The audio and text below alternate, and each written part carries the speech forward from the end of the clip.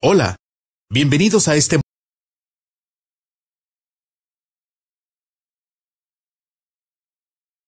Hola, bienvenidos a este momento de acercamiento personal, donde meditaremos la palabra diaria con la lección divina, a cargo de Monseñor Víctor Hugo Palma Paul y equipo de colaboradores. Será un gusto acompañarle. Domingo, 30 de julio. Dios habita en su santuario. Él nos hace habitar juntos en su casa. Es la fuerza y el poder de su pueblo. Oremos. Señor Dios, protector de los que en ti confían. Sin ti, nada es fuerte ni santo. Multiplica sobre nosotros tu misericordia, para que, bajo tu dirección de tal modo, nos sirvamos ahora de los bienes pasajeros que nuestro corazón esté puesto en los bienes eternos. Por nuestro Señor Jesucristo, tu Hijo, que vive y reina contigo en la unidad del Espíritu Santo, y es Dios por los siglos de los siglos. Amén. Lectura del primer libro de los Reyes. En aquellos días, el Señor se le apareció al rey Salomón en sueños y le dijo, Salomón, pídeme lo que quieras, y yo te lo daré.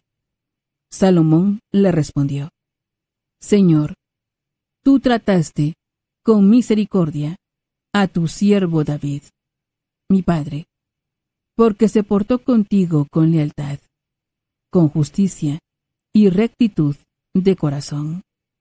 Más aún, también ahora lo sigues tratando con misericordia, porque has hecho que un hijo suyo lo suceda en el trono. Sí, tú quisiste, Señor y Dios mío, que yo, tu siervo, sucediera en el trono a mi padre, David. Pero yo no soy más que un muchacho. No sé cómo actuar. Soy tu siervo, y me encuentro perdido en medio de este pueblo tuyo, tan numeroso que es imposible contarlo. Por eso te pido que me concedas sabiduría de corazón, para que sepa gobernar a tu pueblo y distinguir entre el bien y el mal, pues sin ella, ¿quién será capaz de gobernar a este pueblo tuyo tan grande? Al Señor le agradó que Salomón le hubiera pedido sabiduría, y le dijo, por haberme pedido esto, y no una larga vida, ni riquezas, ni la muerte de tus enemigos, sino sabiduría para gobernar, yo te concedo lo que me has pedido. Te doy un corazón sabio y prudente, como no lo ha habido antes, ni lo habrá después de ti. Te voy a conceder, además, lo que no me has pedido, tanta gloria y riqueza, que no habrá rey que se pueda comparar contigo. Palabra de Dios.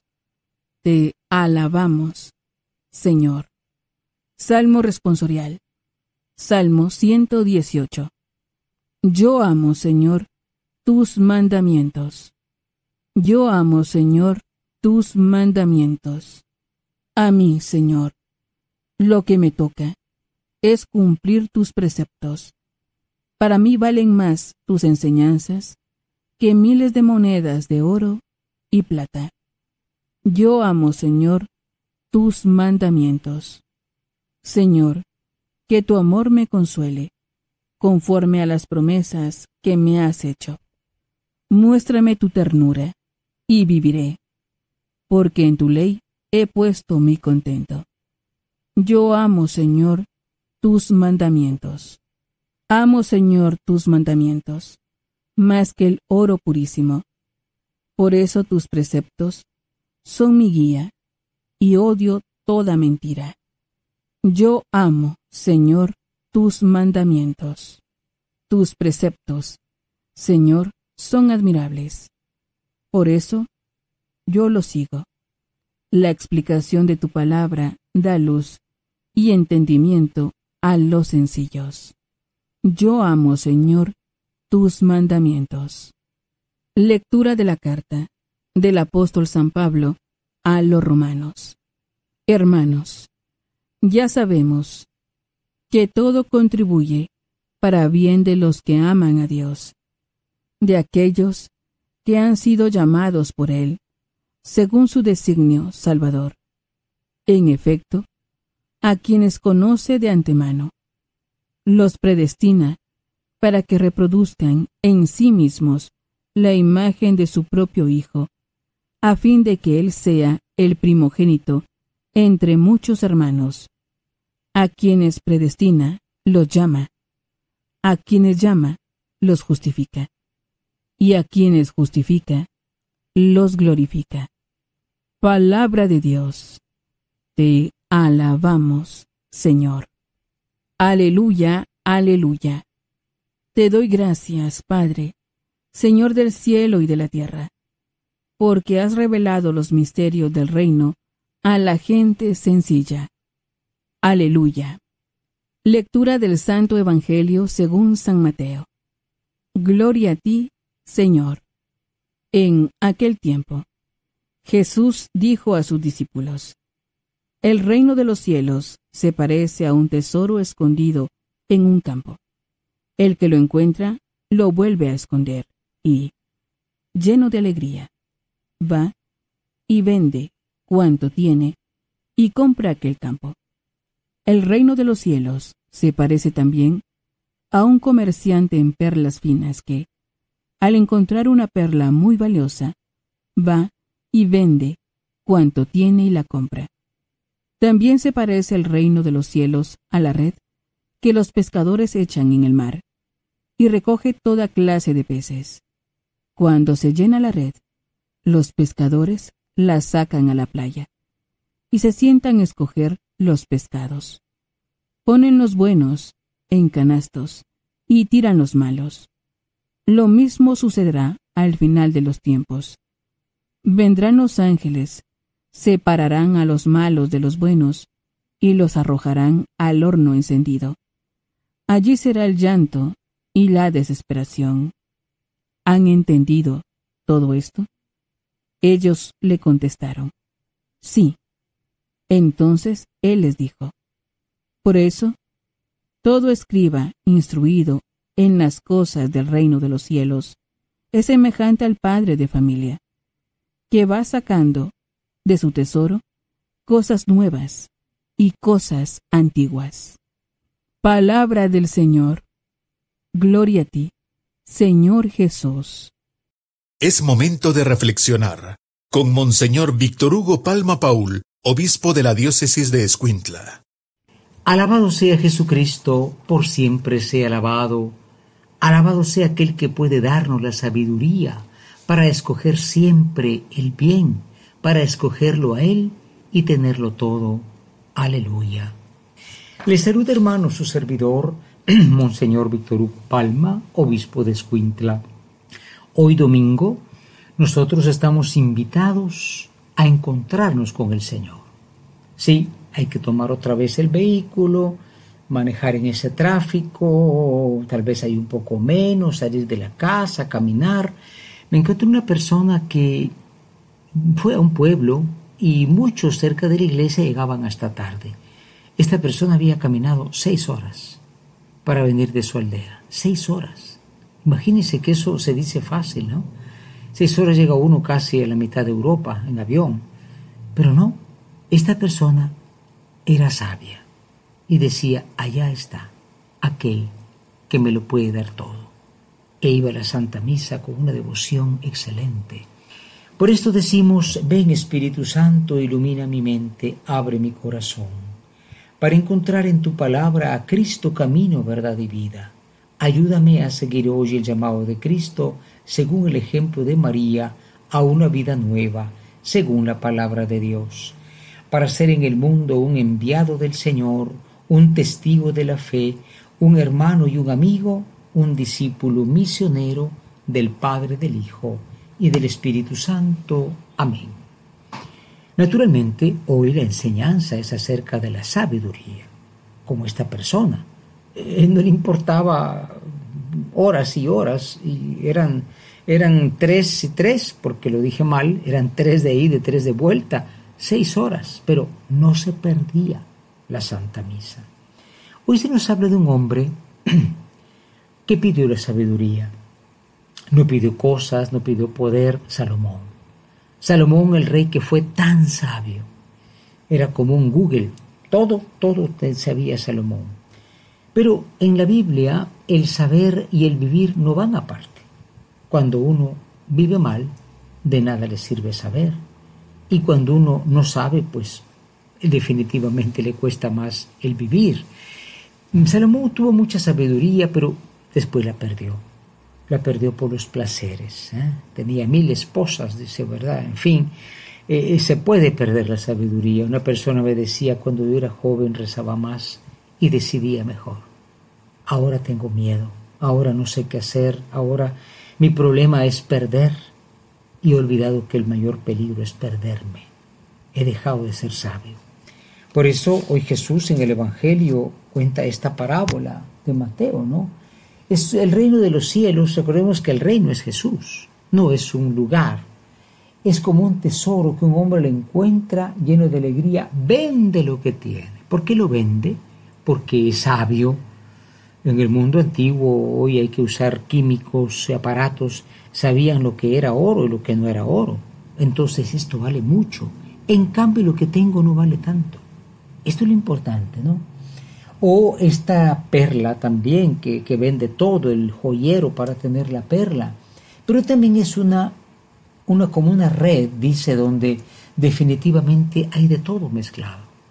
En la parroquia, en la comunidad, pues hay de todo. Hay quien son, tiene bastante fe y la vive. Hay quien como que de lejos, como que es antitestigo del Evangelio, pero ¿quién eres tú y qué soy yo para condenar?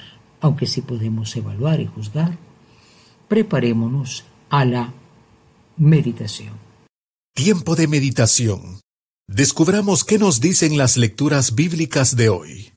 Hoy en la meditación nos preguntamos, ¿somos realmente sabios? De veras he conocido muchas personas que pueden hacer millones y millones por su habilidad financiera, pero no saben cómo está su vida y tienen por eso que llenarla con cosas, con vicios, con lujos su vida, su vida está fuera del campo de Dios. Somos sabios de las cosas buenas y no solamente las sabemos, sino las vivimos. Y en segundo lugar, ¿qué has dejado tú? ¿Qué he dejado yo? Para poder tener el tesoro que vale más, que es Cristo el Señor. No se puede tener a Dios y todos los vicios y todas las cosas y todas las corrupciones y todas las mañas. No, o Cristo o nada o todo o nada. Dice un proverbio muy bello que me envió una religiosa, o todo o nada. ¿Hemos dejado algo realmente por el Señor? Preparémonos a la oración. Es momento de unirnos en oración para que el Señor nos ayude a comprender lo que trata de decirnos con las lecturas bíblicas de hoy. Hoy en la oración nos dirigimos a aquel que es, como decía San Buenaventura, el sumo bien más allá de Él no hay. Y le decimos, oh Cristo, danos sabiduría. Tantas veces hemos salido perdiendo y perdiéndonos por apreciar más lo que realmente vale menos. Tú eres el tesoro y la perla más maravillosa. Haz que podamos, como los santos, dejarlo todo para seguirte. No solamente dejar cosas, dejar los malos caminos, dejar de asociarnos con el mal, dejar de llevarnos por la corriente del mundo, aunque nos cueste mucho. Señor, danos tu Espíritu Santo, que es espíritu de sabiduría, para saber cómo y dónde podemos tenerte a ti, oh tesoro, oh perla de gran valor, que nunca nos serán quitados. Amén. Ahora, coloquémonos ante la presencia santa del Señor y contemplemos su maravilloso amor. En la acción, dice hoy ciertamente el Salmo, esta frase tan importante, yo amo Señor tus mandamientos, yo amo Señor tus mandamientos. Un mandamiento parece un límite, parece una pared cerrada, parece que me están quitando la libertad. No, el sabio sabe que los caminos de Dios, aunque sean de exigencia, y claro, sin Él no podemos avanzar, son el mayor valor. Primero Dios, se decía antes, primero Dios, luego lo demás. Que podamos amar estos mandamientos del Señor y verdaderamente darle gracias a este Señor de, de conocer nuestra fe católica y amar lo que nos pide esa fe católica Imaginemos a ese hombre que está corriendo al banco a sacarlo todo y a venderlo todo para tener el campo. Y digamos, hermanos, una vez más, yo amo, Señor, tus mandamientos. Con lo que hemos escuchado, reaccionemos y descubramos lo que los textos bíblicos nos invitan a vivir hoy. Hoy finalmente en la acción, con la gracia del Señor queremos, hermanos, pues tomar dos propósitos, ¿no? Recordemos que el hombre propone, Dios dispone, pero hay que proponernos algo. Si escuchamos la palabra como escuchar un que está lloviendo, no, no, no se vale. Hay que tomar una, una propuesta de vida con la ayuda del Señor. Primera propuesta, primera meta que queremos proponernos es realmente pedir la sabiduría. No la sabiduría de, de saber cosas, ya sabemos que es otro, otra sabiduría, pero la sabiduría de unir la vida a lo que sabemos del bien. Unir el bien a la vida. No más divorcio entre fe y vida. Ese es el sabio. El que une lo que sabe a lo que hace siempre. En segundo lugar, pues hacer inventario. ¿eh? Ustedes saben que la gente ahora hace inventario con el sistema fiscal, hay que estar contando a cada rato, has contado tú lo que tienes en comparación de lo que el Señor te puede dar. Hacer ese inventario y decir nada de esto tiene tanto valor como Jesucristo el Señor. Que esto sea posible por intercesión de María Santísima, aquella que es sabia, es trono de la sabiduría, decimos en el rosario, ¿no? Para que ella interceda por nosotros y podamos también aceptar esa iglesia donde hay peces buenos, peces malos, peces que no sabemos para dónde van, pero es la iglesia del Señor. Tiempo llegará para el juicio final. Ojalá que escojamos bien y no nos equivoquemos. Ave María Purísima, sin pecado concebida.